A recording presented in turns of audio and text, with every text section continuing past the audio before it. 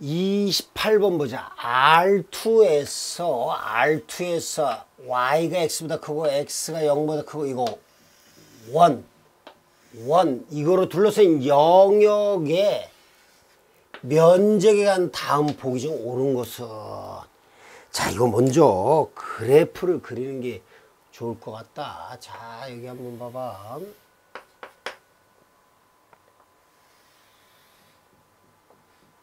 자, 1 중심이 1, 2, 이 y죠.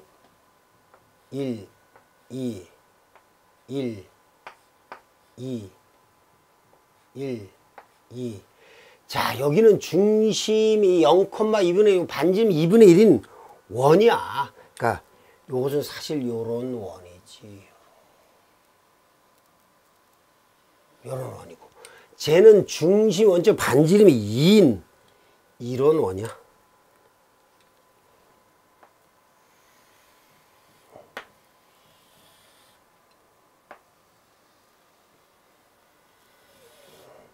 이, 이, 일. 자, 그 다음 y콜 뭐? y콜 x라는 것이 있어 이렇게. 됐고 요 둘러싸인 요거 요거 요 영역을 나타내잖아. 그러니까 이건 극좌표로 표현하는 게 가장 좋겠지. 자, 여기는 R 이퀄 2죠. 요 방정식 보자. 요 파란 방정식 보면 저걸 전개해봐. X제곱 플러스 Y제곱은 Y거든. 그러니까 R, 요건 R제곱이고 R 사인 세타, R 지우면 사인 세타잖아. 그럼 봐봐. 극좌표로 나타낸다면 여러분 봐봐. 세타는 2분의 파, 아니 4분의 파이부터 이게 4, y 콜 x잖아. y 콜 x면 4분의 파이죠. 4분의 파이부터 2분의 파이 나오고 r은 여기 사인 세타보다 크고 2보다 작은 이 영역이잖아.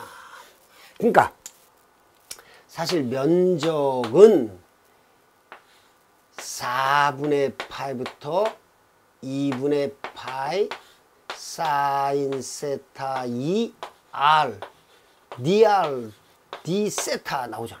그 얘는 맞네 벌써. 얘는 뭐 해놓은 거잖아. 예? 그 다음 이걸 적분 이제 적분 해 봐야지. 4분의 파이부터 2분의 파이 적분하면 2분의 r제곱 2 사인 세타 d 세타지. 그럼 요건 봐봐. 2 넣으면 2분의 파이 2 넣으면 4에서 2 하고 마이너스 2분의 1 사인 제곱 세타 d 세타인데 여기서 여러분 잘 보세요. 차수를 낮춰야 되잖아. 2분의 1 마이너스 코사인 2세타야. 그러면 4분의 1이잖아. 4분의 파이, 2분의 파이, 2에서 4분의 1 빼면 4분의 1 빼면 4분의 7이겠지. 마이너스 플러스 4분의 1 코사인 2세타. D세타. 아, 여기다 이걸 집어넣으면 4분의 1 빼니까 4분의 7 나오잖아. 그럼 적분하면 4분의 7세타 플러스 8분의 1 사인 2세타.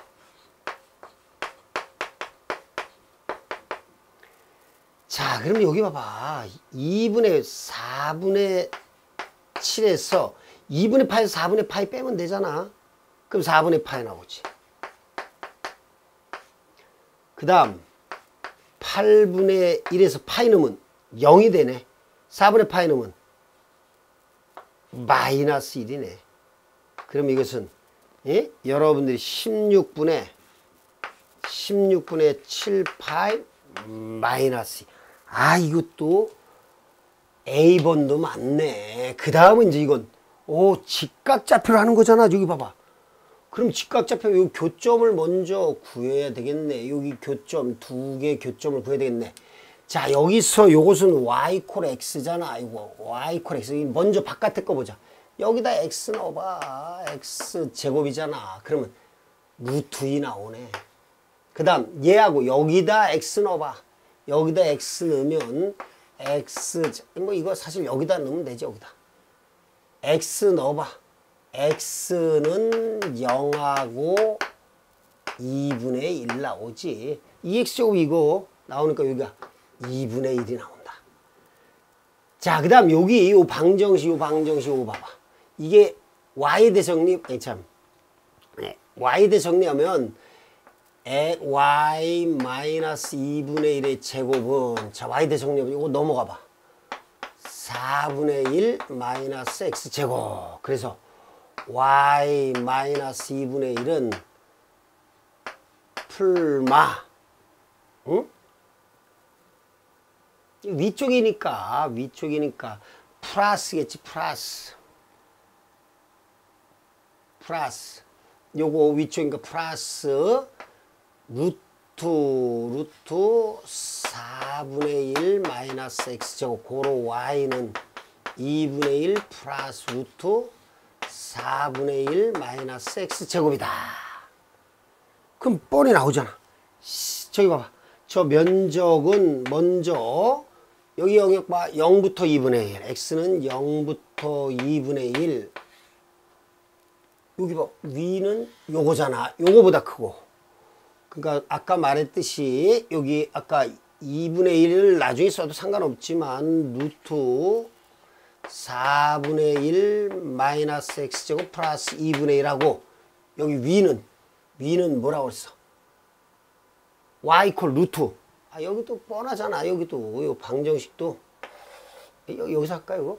그럼 여기서 보면 y 제곱은 4 마이너스 x제곱과 y는 루트. 4 마이너스 x제곱보다 작아야 되잖아. 요것이 오니까. 그러니까 루트 4 마이너스 x제곱보다 작고 dy dx고 여기 원이고 두 번째는 2분의 1부터 2분의 1부터 루트 2 똑같죠 여기는 4분의 1 마이너스 x제곱 플러스 2분의 1부터 루트 4 마이너스 x제곱 dy dx. 맞나봐. 어? 미안 미안 아 여기 여기 x잖아 x. 여기 x지. 아이고 미안 미안. 이게 x지 x지. 선생님 잘못 썼지? 요거보다 여기는 요거 영역이잖아요 영역. 그러니까 x보다 큰 거죠 x 이것도 맞네 이것도 맞죠 그래서 A, B, C 다 성명 그러니까 면적을 그냥 구하라는 것도 아니고 그냥 직각좌표를 극좌표로 나타내고 또 직교좌표를 두 개로 이중적분 표현하면 왜 이제 직각좌표계가 힘든지 알리죠. 극좌표 표현하면 이렇게 간단히 한 번에 표현할 수 있는데 원의 모양이 나왔을 때는 직각좌표계보다 극좌표계로 표현해줘야 되겠다.